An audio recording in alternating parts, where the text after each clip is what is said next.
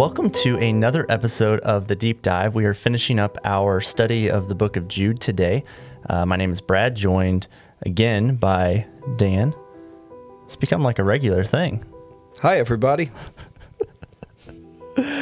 Anyway, um, hope that you had a fantastic Easter weekend uh, celebrating. We finished this series uh, a week and a half ago or so uh, at Calvary at our Mid Rivers and our St. Charles campuses. And this week, um, yeah, we're just releasing this last little bit from Jude. I've had some technical difficulties when it's come to locating memory cards to be able to uh, uh, distribute this at, a, at an appropriate time, but it actually worked because of Easter. We weren't going to do an Easter specific deep dive anyway.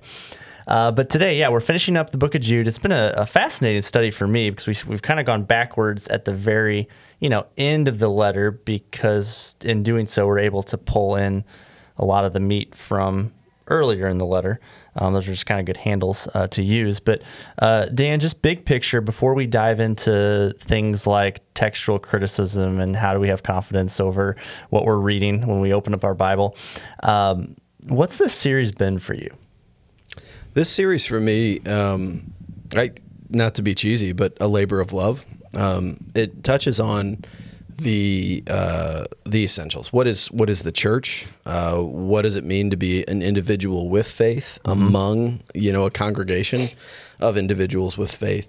Um, I I really to me the the verses twenty two and twenty three about what to do with those who doubt is very important to me mm-hmm. um, because I, I think early in life, for whatever reason, and no judgment, maybe they had great reasons, but I felt like a lot of the Christians I knew early in my life looked at doubt as um, something to fight and those who doubt as enemies. Mm. Um, and I, I think I just feel like I've grown to a more honest place of like, doubt is uh, actually a really important process mm-hmm. in faith, mm-hmm. um, and undercutting that creates something else. So I love that, but the um, I think sometimes the, the, my hypothesis is what we have in our New Testament made a lot of sense to the people who read it uh, first. So Jude starts by saying, um, I, I wanted to write about common salvation to celebrate, and then he quickly like. Uh, he quickly says, But I need to talk about this other thing. Mm. We wouldn't do that today. Mm. We would say, Let's remember our common salvation. Jesus saved us, He keeps us. You know, uh, this is how we do our thing. And now let's talk about the really, um, the really, uh, you know, strong warning that I need to share. Mm-hmm. Jude goes the opposite. He does the warning, he does the church, he does those who doubt, and then he does Jesus. So, um, you feel like it'd be, it's like, oftentimes stepping into a movie that's multiple movies into a series where uh, take take Avengers uh, yeah. uh, Endgame for yeah. instance, right? You can have no you can know nothing about any of the movies, any of the story, um, like leading up to Endgame, and still have a fantastic experience, yeah. enjoying the movie, maybe getting some of the jokes, liking the special effects, yeah. and kind of getting to the end of the story and, and following it but it's much richer if yes. you know yes. all of the nuances of the characters and what's gone on to get them to the point that they are. Yes.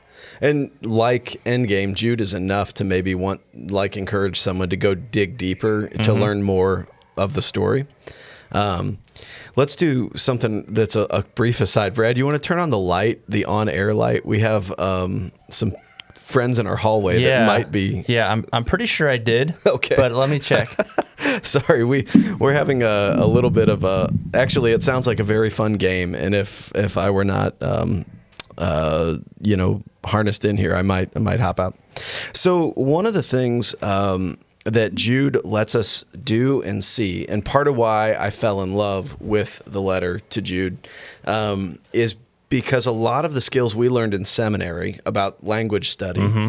uh, are very relevant in yeah. Jude. There are some things that show up very clearly in our English text, and there are some things that are a little more uh, buried, and they raise questions of hmm. how how do we have confidence in the English translations that we're reading, and confidence in the languages, the the Greek mm-hmm. uh, behind the New Testament that we're getting our English mm-hmm. from, um, because there's layers here. Uh, the scriptures have been translated going on uh, 2,000 years now mm-hmm. for the New Testament. and much longer for the Old Testament. Translation is part of our story. It's part of faithfulness of telling the story in every generation and in every place. But at the end of the day, translation is always an art, never a science. It's not actuarial. You know, we don't have uh, always a word over here in Greek that means uh, that that finds its equivalent in English. So. And, and we and we see this even in modern languages. If you've Yeah. traveled, um, you know, overseas or gone to a country where you know, Yeah. you're speaking a different language, and there is uh, uh, one example would be so Josh Credo. He's one of our our missionaries. Uh, he serves in Czech Republic. Yeah, And, great guy. Uh, he had been uh, over there for a couple of years. He was home on a furlough several years ago. He and I were sitting down for lunch at a Ruby Tuesday because he wanted a, a big burger and all you can eat salad that I guess you know only in America, but And only at Ruby Tuesday. only at Ruby Tuesday, uh, R.I.P. Um, but anyway, we were talking about. I was asking him how like language was going, and for him because he had to learn a new language, and Yeah. And, uh, And they speak. and they speak Czech. Okay, Yeah, Czech. they speak Czech. Um, and the and he does English clubs. Like that's kind of Cool. one of his like handles for his ministry is their students uh, like learning English is a value all over the world. And so parents are like, "Hey kids, go go to the English club. Uh, don't believe the Bible, but like learn English. Go- go right? learn English, yeah. And uh, one of the the concepts that he was very uh, that he recognized very early was that in Czech there's no equivalent for the the phrase ish. Really? Right. So whenever you attach uh, attach the ish. Yeah. You know, to like you can make anything mean whatever you want. It's really Yeah. a very helpful category That's to right. have ish. Um, but it was just an interesting thing that he didn't have a direct way to communicate that concept that involved that was that was involved a very short word. Yeah. And so I think that that you know whenever we come to the original languages, when we come to our English translations, there's a similar practice that's that's happening. Oh man, I bumped into that. Um, y'all might know uh, Jaron. Uh, Jaron Shad helps. He leads worship Mm-hmm. sometimes uh, in the big room, but he also uh, leads the Vine and does uh, worship with our, our Fuse student Mm-hmm. ministry. Um, Jaron says words that I thought that I knew, and when he says them, I'm going like, "Wait, I I did not know." Uh, what's that that movie? Vance Uh, does that too. oh man, yes. Our, our St. Charles campus pastor is an incredible fountain of new new meanings for old words. It's that line from Princess Bride. What is that? What do you? What, oh, I don't think that means what you think it That's means. right. Why do you keep saying Why do you that? keep saying? Yeah. I'm really glad someone told me thirsty changed meaning. Um, Yeah, at least helpful. among younger audiences, because I would have I would have kicked that one Yes. uh, and stubbed stubbed my toe there. Yep. So it's not different, Mm-hmm. right? The I, goodness, we're separated now by thousands of years and distance. Mm-hmm. Uh, it's not just that the Greek language has changed. I mean, we are speaking the English language, which, um, to my knowledge, didn't exist when the Greek language was No, no, doing it its came thing. from your um, your Anglo-Saxon. Like, Yeah. even like English is interesting in that um, the it's it's the way it's developed is it's it has pulled words from so many other languages. Yeah. So you have like the Germanic languages, you have the right. um, um, the Romantic language, right? And so right. all of these have you can kind of trace their origin.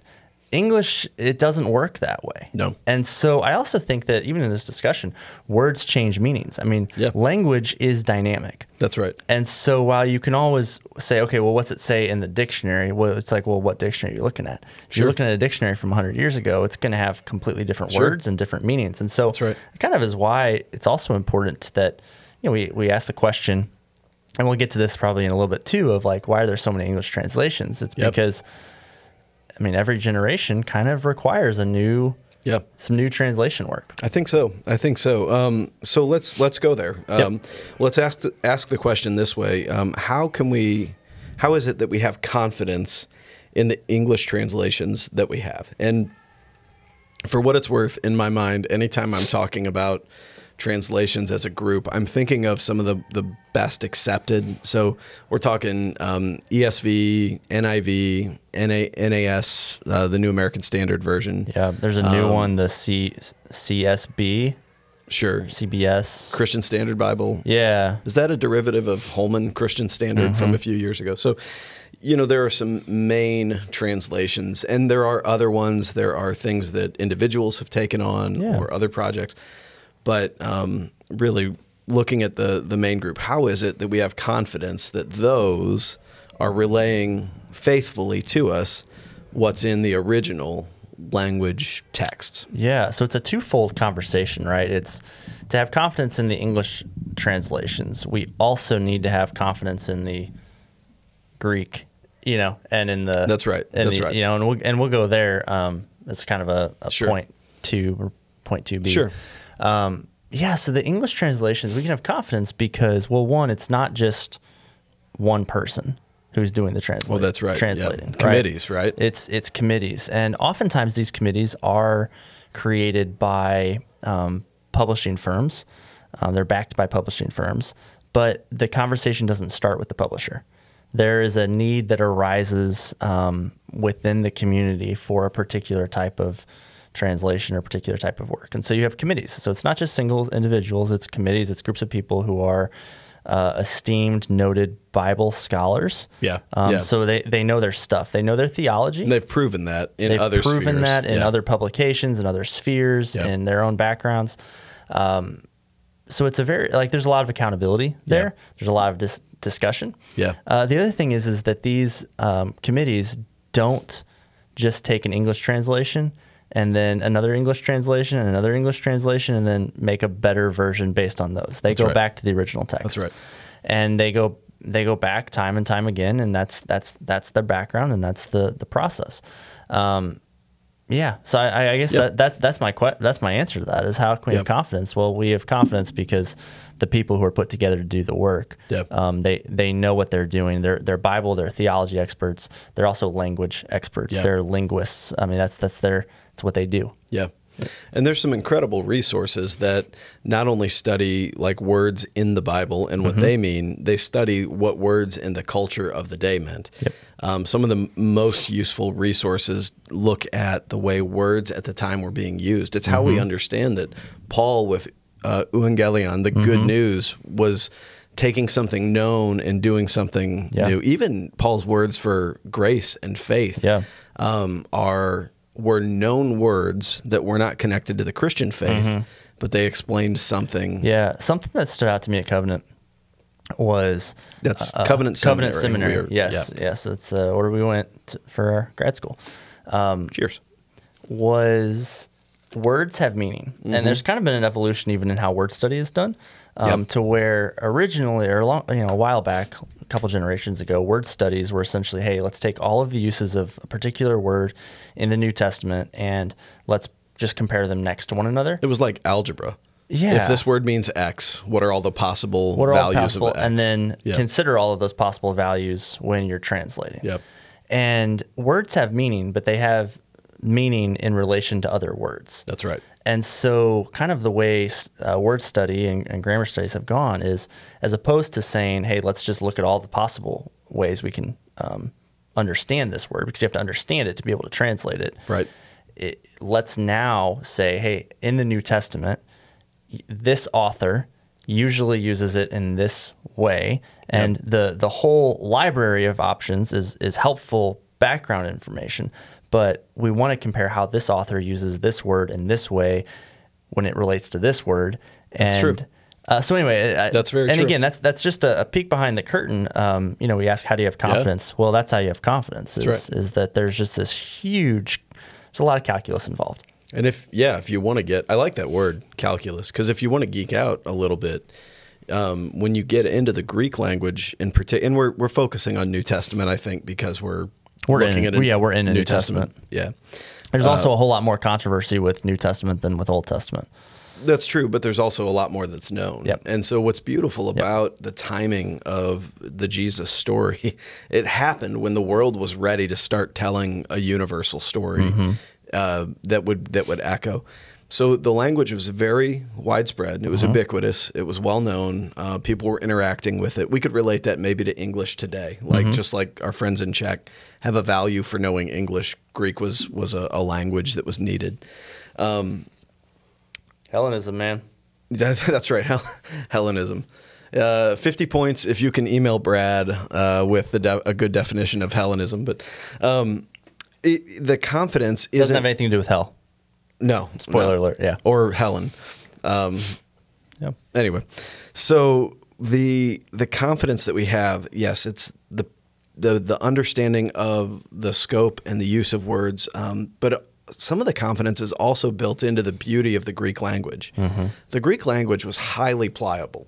You could do, um, unlike Hebrew, which was a little more structured and more like code, uh, where you were getting you were getting um, definite words and then understanding their meaning. In Greek, you get words that do a lot of poetic things. Um, the the number of words is is much much larger than Hebrew, uh, less than English. Interestingly. Um, but uh, one of the things that just always fascinated me is um, what's the right word? Prepositions in in Greek. So preposition that most often gets translated of uh, is fascinating in Greek because it can it can be doing all sorts of things. It can be talking about one part of a whole. It can be talking about origin story. It can be talking about catalyst. Um, and so yeah, as we as we return to the text over and over and over, we understand it and then we understand it better. Then we understand it better because we're starting to get it's not we're not honing down on meaning meaning. We're getting the three-dimensional picture of the meaning. And that's really really beautiful. So when then those groups of scholars get together, having studied, having continued to develop their understanding, then having conversation and accountability, what they end up writing down is something that um, it has been poured over uh, with pretty much every facet of the human, I Yeah. think. And so what we're getting then in our English text is something that we can read with confidence um, because, like good communication, it's doing something. Yeah, It's and I- intentionally and sharing I do think that one of our goals for reading anything, whether it's the Bible, whether it's C.S. Lewis, whether, I mean, whether whether it's anything, is is just is is approaching the text uh, charitably. yeah. And I do think that oftentimes this is one of the things that I that I hear when I read, like when somebody you know they write a book and it goes viral. Um, we live in a very skeptical culture, Yes. right? Where it's hey, show me your work, No, we don't. show me your work, prove it. Um, I'm going to doubt whatever this is until I know categorically that Yep. it's it's it's true. And when it comes to translations, especially with um, some other social issues, uh, there are assertions made that particular translation committees um, Yep. chose particular words with an agenda. Yeah. Uh, inclusive language. Inclusive language, Man, uh, exactly. men, humankind um, versus men and women. Yeah. Yeah, and I don't think we should eliminate the the human nature, the groupthink, um, preconceived confirmation by. I mean, all of these these things. We we shouldn't throw that away, but at the same time, um, I, I do think that whether it's a translation you like or prefer, or one that Yep. you don't prefer as much, uh, we need to have a whole lot of charity for the committees and the men and the women um, who That's know, right. faithfully um, we're we're putting to work to to That's make right. these.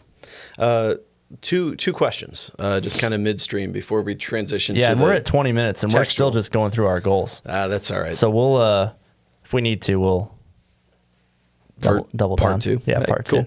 two. Um, so for you, Mm-hmm. for you, would you rather have a translation that does uh, some of the interpretive legwork for you, uh, or one that is going to be more close to like the original way, like the the way that Greek speakers Yeah. and Hebrew people speaking Greek may have thought, and then you do the interpretive work? What would you prefer in your English translation? That's a great question. Um, I, I think what I would prefer is wanting wanting to know what I'm dealing with. Okay. right? So if it's if if it's a translation that has done more of the legwork, I want to know about. I want to know that. Yeah. If it's a translation that is trying to stay true to word order and kind of a wooden reading of the text, I want to I want to know that so that Yeah. then I can do the work. Yeah. Right. And so, um, I, yeah, that's how I would prefer it. I, I think one of the one of the beauties of, of translations is they serve different purposes. Yeah. But oftentimes we don't know that they serve Sure, different sure. purposes. What about you?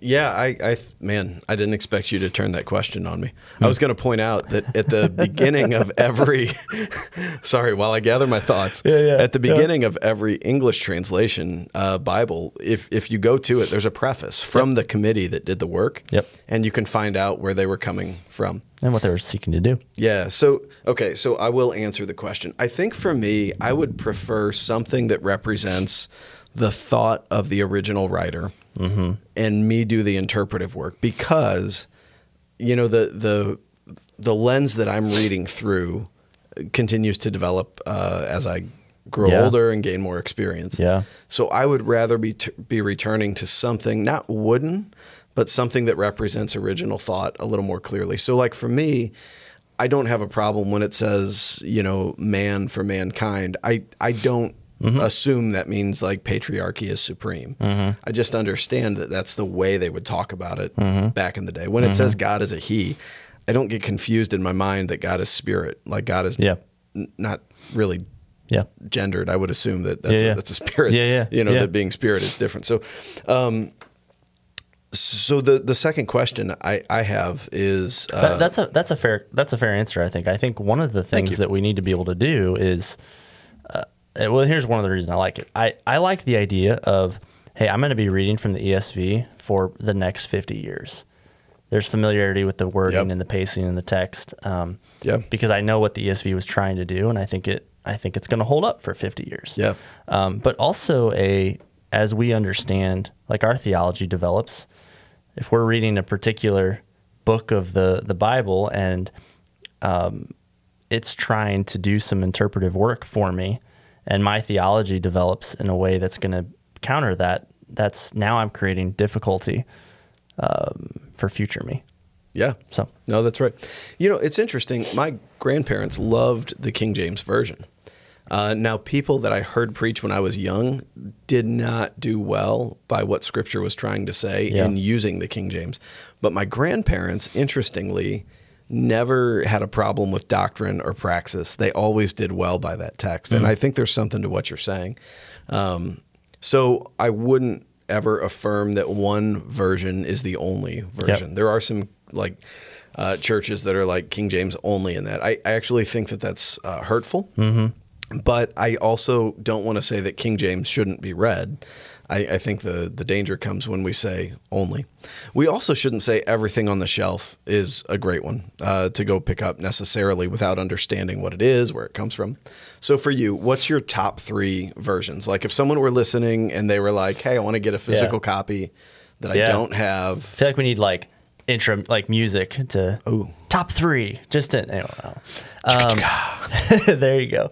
Uh, yeah, no, it's a great question. Well, and I, I help lead, um, so do you, uh, Tuesday night classes, right at our Mid Rivers campus, and that's a that's something that we talk about with you know facilitators is what translations are we encouraging? That's a question that I field is like, hey, what translations should we go off of? Um, I I really like the ESV. I mean, that's going to be my my my top. It's going to be my go to. Um, part of it is is there were several covenant professors who were involved in the translation and development of the study bible Mm. That's right. uh, the esv study bible and so i have a high level of familiarity um, both with a lot of the people who were contributors but also um, that's what we used in grad school and so like there was a um, now not we didn't use it exclusively we were encouraged to use a wide variety of, of Yep. translations in our assignments um, but yeah, so that I, I like the ESV. It does a good job of trying to maintain thought for thought.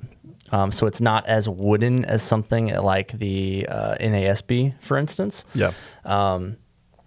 But the whole goal is, hey, can we provide a faithful, you know, a, a translation that's very faithful to what the original writers were seeking, uh, were intending to say in their context. Yeah. So the ESV, uh, the NIV, um, for for a couple reasons, I think uh, it does take, it does make some interpretive claims uh, here and there.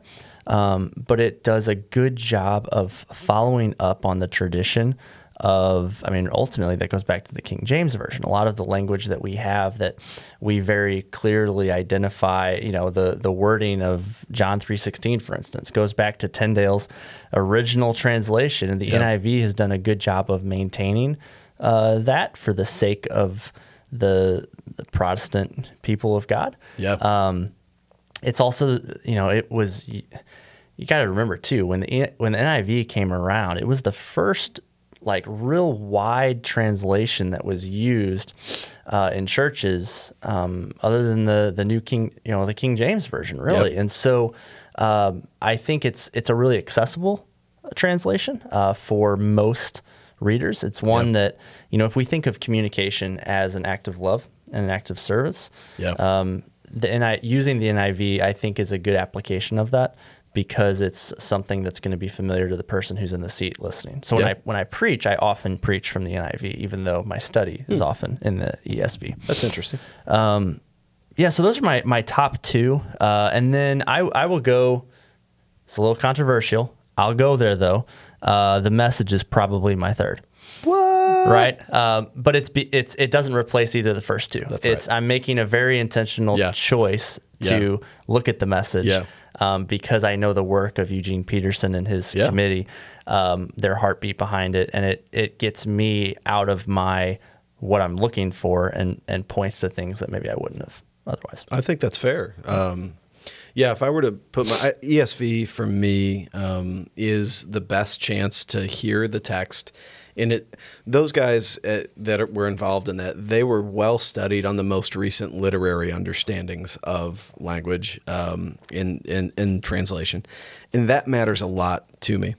NIV I find interesting, but I I read NIV, um, the NASB New American Standard, uh, Holman Christian or the Yep. or the new the the CSB, um, kind of all on like a tier 2 I, I'm not saying ESV is so far Mm-hmm. Yeah. superior, but each of those is doing something intentional. And This is where we're going to be accused in the comments of like just being the uh, Homers. home, oh, yeah. Yeah. hometown. That's okay. That's okay. I I'm still paying my student loan, so I, I better be proud. There you go. Um, all right, so the NIV shoots for dynamic equivalence, which means Mm-hmm. That's great. that it is sometimes trying to say things in its own voice, Mm-hmm. um, and and that's where those interpretive glosses or jumps come. Uh, the uh, NASB is a little like Yoda. Mm-hmm. And unfortunately for us, that works somewhat in the Hebrew. It does not work well in the Greek. Yep. In the Greek, word order mattered to give emphasis. Yep. Um, but we put we do emphasis in a different way, and so it's a little in my mind. It's just a little misleading to say, "Oh, it's closest to the original," bec- because the way we speak is much sure. different. Holman Christian uh, message. I, I like those because it is a tradition that's speaking into something, and you do get that chance then to see. And then King James. I uh, King James is based off of the uh, original Latin translations of Scripture, so there's these these whole interpretive histories that are represented in the King James. Um, anyway, so. I, it, but Can- for me, we- it's ESV, Yeah. and then it's the others, and I know we're Yeah. running up against time. No, no, that's good. Um, we're just gonna hit a place where we can pause and then cut together, cut, cut back. Can we talk about the NLT for a minute? Yeah, New Living. Yeah, so the New Living is one that uh, I remember in middle school, high school, I had a, a New Living Yeah. version. It's one that off like a lot of people use it. It's Very popular. It's a very popular Yeah. because it's it's so readable. Mm-hmm. What's the NLT seeking to do? If I remember right, NLT is dynamic equivalence uh, aimed at readability. And so it is trying to say things truly, like purely in the voice of the reader. Yeah. Um, things they're familiar with. But that's often very helpful because sometimes we have to circle the meaning like a spiral and we have to get closer. So, um, much love for any reading or memorizing the NLT. Okay, so Brad, we talked a lot about the uh, English translations, but one of the things that we really shouldn't miss is uh, the question why do we have confidence in the Greek the the Greek manuscripts that we have Yeah. that sit behind that. Because if those are wrong, then what we're translating can't be right. But we affirm that everything in our Bible is uh, is true and is uh, without error. Um, and those are two pretty big assertions for something that has been translated over and over and over again. So, um, in your mind, can you loosely describe where does our confidence in the uh, I'm going to use the word original manuscripts, Yep. and we might need to parse that out a little Yeah. bit. Uh, but in the original Greek, where does our confidence come from there? Yeah, so it's a great that's a great question, and, and yeah, the Greek is a little bit more. Um, part of that is the the Old Testament was such an oral tradition that it was passed on, it was Yep. memorized. It was yeah, so there's just less less questions regarding the Old Testament, um, and this question is important to me because so we spent time, you know, both of us as, as youth pastors for a significant amount of time, and parents uh, would would just come to me with all this anxiety and fear um, because they're sending their kids off to these secular universities and they have Yep. uh, images like the movie God's Not Dead, right? Sure. And th- this the the antagonistic uh, philosophy professor uh, who's going to try to you know beat into their heads that The antagonistic tenured philosophy tenured philosophy professor, um, who's just going to beat into their heads that uh, the Bible is not reliable. You can't, Sure. you know, and I don't know. Oftentimes we, yeah, we put we create this caricature for ourselves, and I'm not saying that doesn't happen at the universities because it it does. Um, Yeah. but I think we need to be able to have rational responses to that. Yeah. And a lot of times when we just, you know, we, we make a whole lot of assumptions all the time. Um, but yeah, that question, how can we have confidence in the original languages? Um, how can we not be scared uh, to encounter arguments from, from scholars like Bart Ehrman, right? Very Sure. popular scholar. And I think I think just informing, hey, how do we get the Bible that we have is a helpful one. So your original question, uh, how can we have confidence uh, that in the original um, text of Scripture? I think that's an important uh, piece, the original Yeah. text. Uh, we don't have those, Right. and we shouldn't be scared of that fact. Right. Like we should be able to say, yeah, we don't have any of the originals. Why don't we have the originals? We don't have like the parchment that The- Paul wrote yes. on that he sent. Yes. What do we have? Yeah, and so well, and, and the reason we don't have those is because paper back then just didn't last. Yeah. Right. Um, so what we have is we have copies of copies of copies, Mm-hmm. and we have a lot of copies.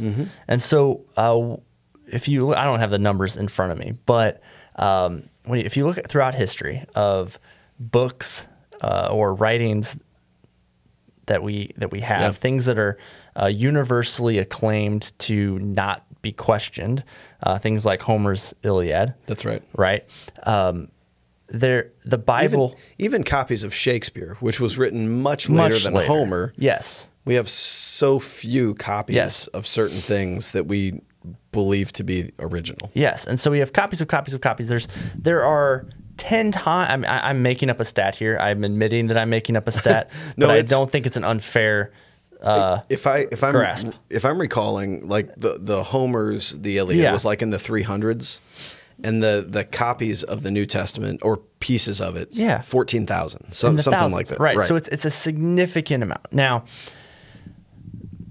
the amount that it's been copied says something about its authenticity, about Yeah. its message. Um, even and, and here's the thing: we didn't have printing presses back then, and so like the copies that we have, they're all hand done. Yeah, that's right. So there were, there were people whose professions were to copy scripture to, That's to make copies of it to send out to so that it was more widely available um, so that churches would have it Mm-hmm. as they're you know launching churches all across the world and and yet then there's other questions that come up well, well why are there different well why were there di- you know why are, why is this copy use a different word than this copy why is this word spelled this way and and we could geek out and talk through it's called Yeah. textual criticism is the process of trying to get as close to the original as we can Yeah. uh, through comparing all these different translate uh, all these different copies and Yeah. so one of the ways they would do this is they would um, mark the location that a particular copy came from and so you could even see how throughout history particular copies that might have come from Yeah. uh, this area in north africa differ a little bit from all of the other copies that came closer in the area that it was originally written, and so you could even you could even through a process of of uh, elimination even say, okay, well this this one probably isn't the correct one because it only really showed up in this particular area, and yet to be which which means so like let's let's turn this into a, uh, a, a like a, a graph. Yeah. You know, let's say you have uh, f- one copy comes into uh, St. Charles. We'll Mm-hmm. just pretend St. Charles used to exist. And the scribes in St. Charles made 10 copies. Yep. But one of the scribes made a mistake and sent their copy to Chicago, and the other 9 went Mm-hmm. other places. Well, that Chicago copy gets copied again Mm-hmm. and again. And so um, it's not a it's not a lot of thought, you know, if somebody looks at the 200 eventual copies Yep. To see that oh everything that came out of Chicago goes back to one mistake that was made at the previous place in Yeah. St. Charles. Yeah, something about a goat and Steve Bartman and something else. I'm making a Chicago Cubs joke there, um, but you went there. So Pre pre 2000 Yes. whatever that was. yeah. So so anyway, uh, just the process though of that should give us confidence. That's right. Um, because it's not like we're making these assumptions and we're just taking something at face value. Is there is a process. Yeah, that's Um, right. And that's why whenever you do read your English translation translations, a lot of times this this is actually one of the one of the things that concerns me about the amount um, that we use our phones to Mm. read the Bible. Now, I, this is a beautiful tool, and I'm glad that Yep. we have it. And the ability to read Scripture and interact with Scripture is greater now than it ever has been. Yeah. Um, but you don't. The footnotes and some of the other cross reference material isn't as easy easy to find and easy to. That's you have true. to click a link. You have to get off the page, go somewhere else. When you're bored with what the preacher's saying, there's there's the internet. Yeah, you don't have the maps that you can, you know, look Yeah, at. that's true. Uh, but anyway, in, in our English translations, in the footnotes, right, you often Yeah. will see something like some early manuscripts say That's right. blank. Or Um, John 8. Some manuscripts don't have Don't verses 1 through 11. it. Yeah, yeah, yeah. Right. And what that is, is it's not the English translator's intent to dupe the reader. That's right. It's the it's the translation committee's um, move of integrity. That's right. To show, hey, listen, we want to put all of the we want to put all of the evidence here. We have That's right. great confidence that this that this portion is scripture. So here's what's cool, and Yeah. this was something that that I loved. Uh, actually, in studying Jude, I got a, a taste of it. Mm. Um, it's not just the English committees that did that. Mm-hmm. When you go back and you look at the original languages, there's, uh, to my knowledge, there's two major um, Greek compilations.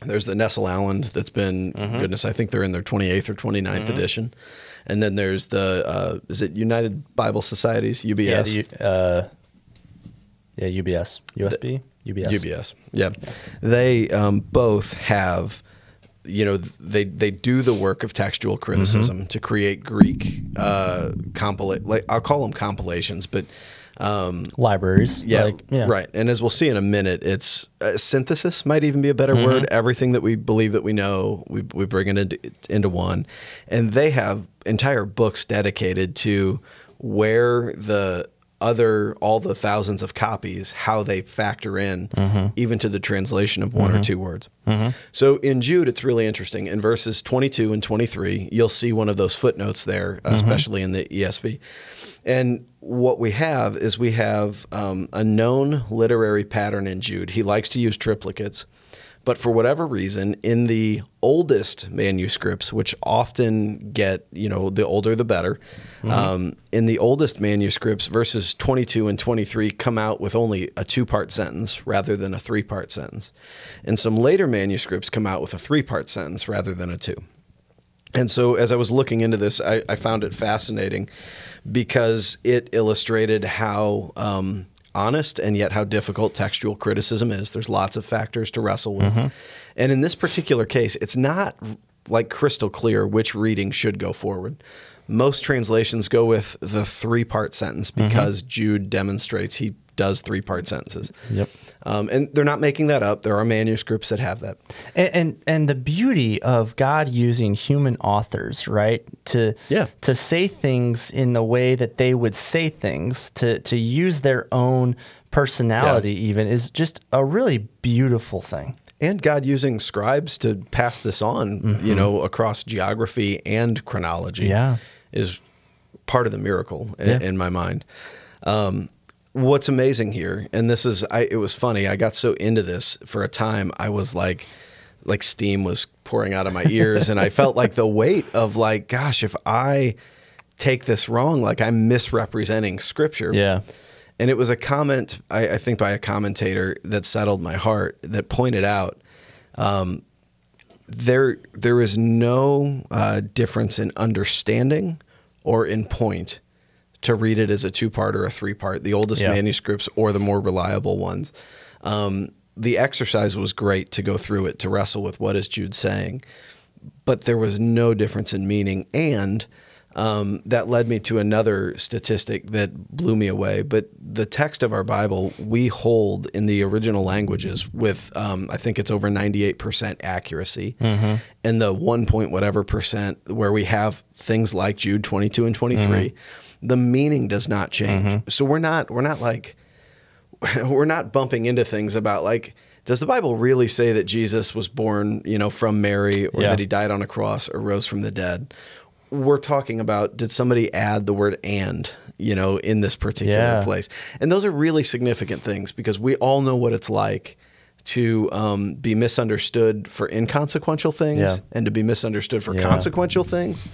Um, so it's not the challenge that that the text we have is unreliable. That's not really a legitimate thing mathematically. Mm-hmm. Our our text is very strong historically. It's incredibly strong.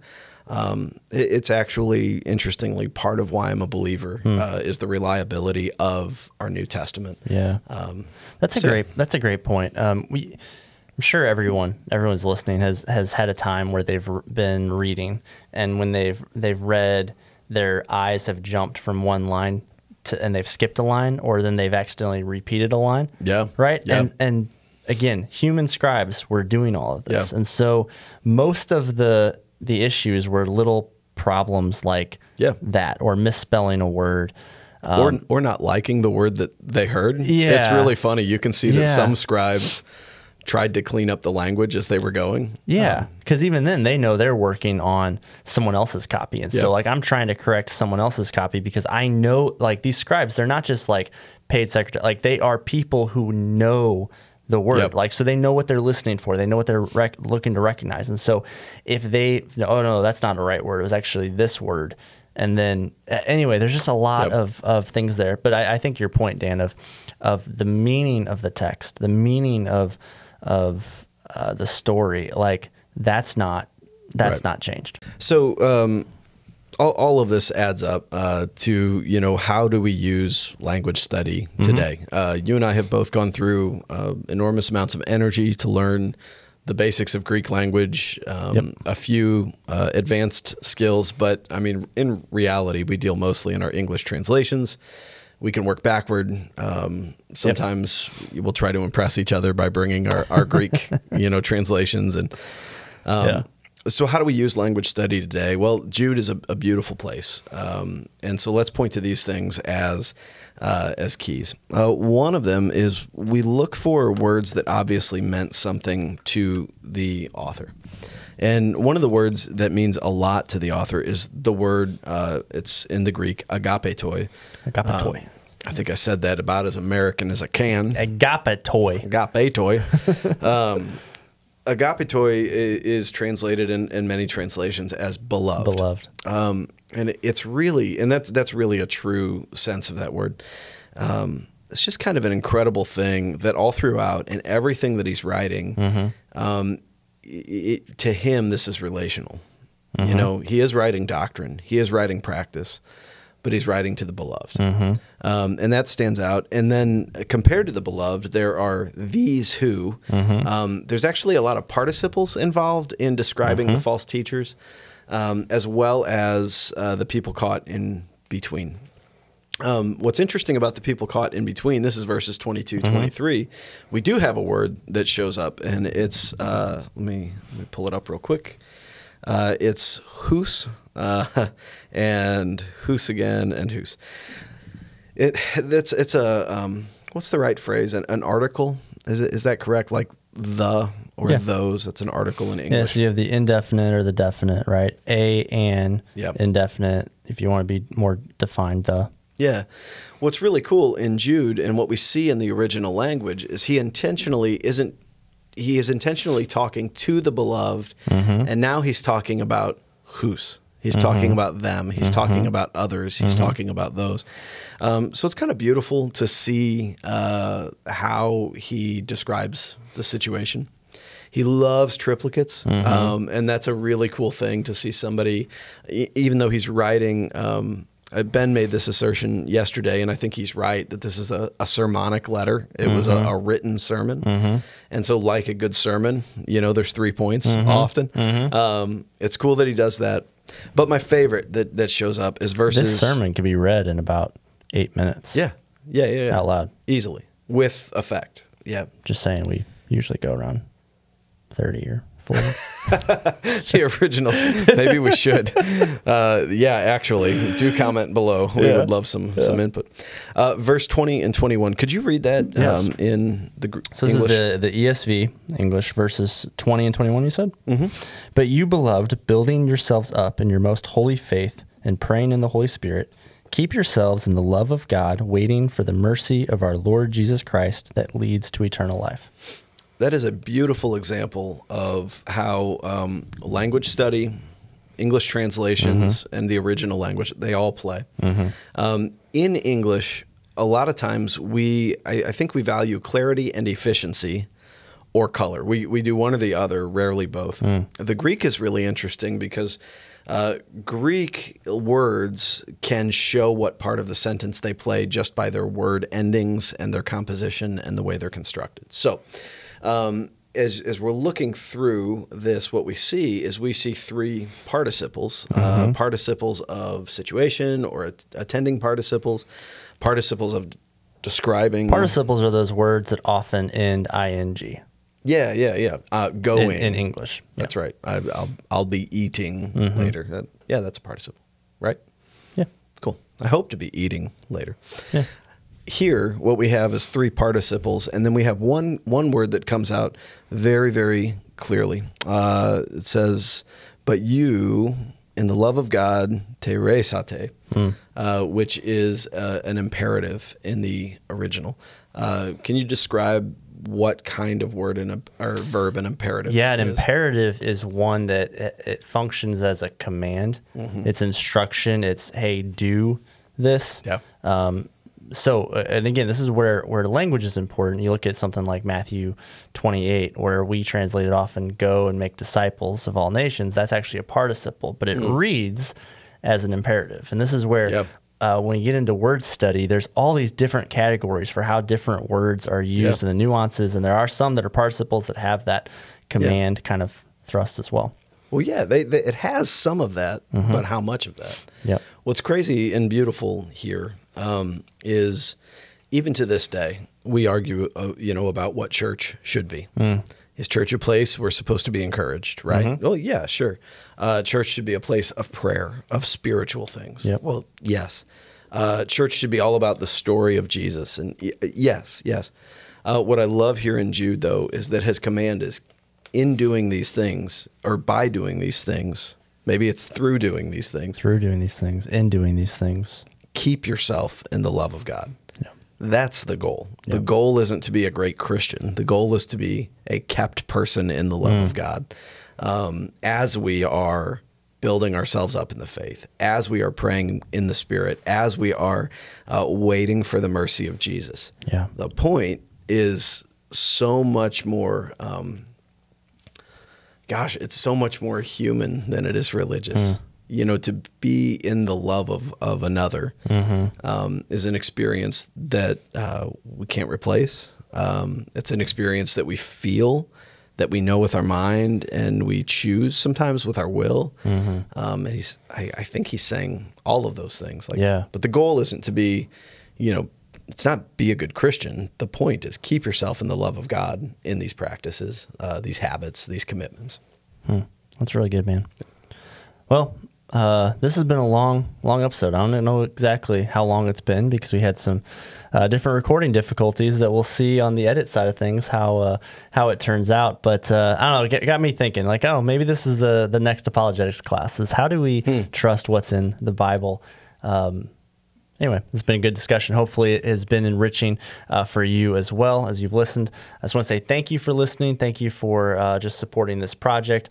Uh, we uh, we're Bible geeks and language geeks, and so it's fun to uh, have an excuse to talk about those things. But also, it, it does matter, and uh, we want, as Calvary, we want to be a people that is that are faithfully reading our, our Bibles, that are curious about what's in it, um, and that is seeking to understand and live it out as best best we can as we wait for Jesus to return. So if you have any questions for future episodes, we'd love for you to email us at podcast at calvary.church.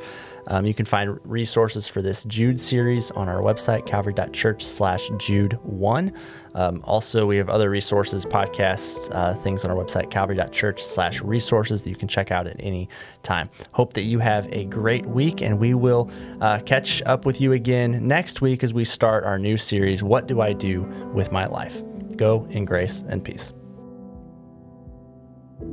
Thanks for listening to The Deep Dive, a Calvary Church Media Productions podcast. Be sure to subscribe and leave a review wherever you listen to podcasts.